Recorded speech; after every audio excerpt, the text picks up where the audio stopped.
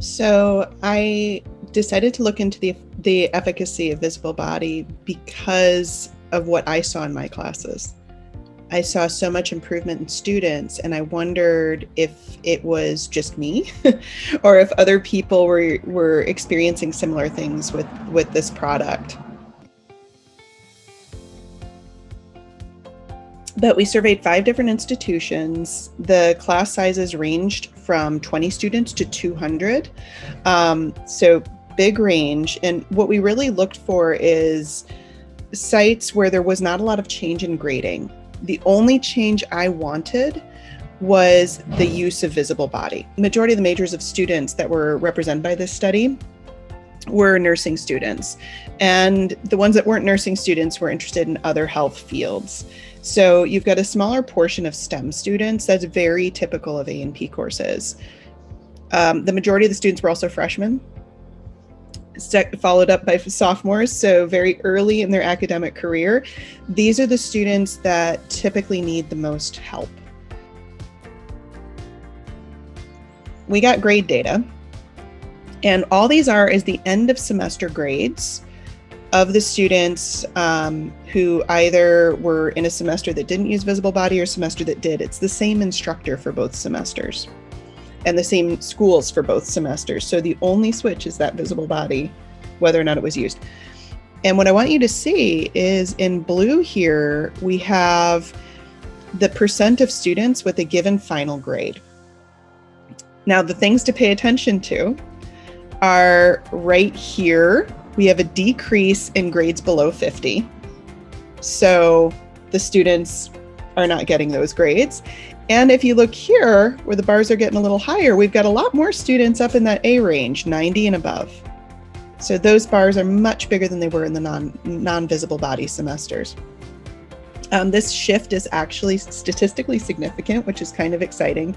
Um, although here it should be noted that we're looking at aggregate data. What that means is that we just took the grades from everybody and we kind of threw them all in a pool rather than analyzing class by class. Um, you'll notice the median grade without visible body is just below 80%, which is actually pretty great, I think. Um, but then when you put visible body in there, now your median grade is in the mid 80s, which is actually astounding. That means, you know, the majority of your students are, are Bs. That's fantastic.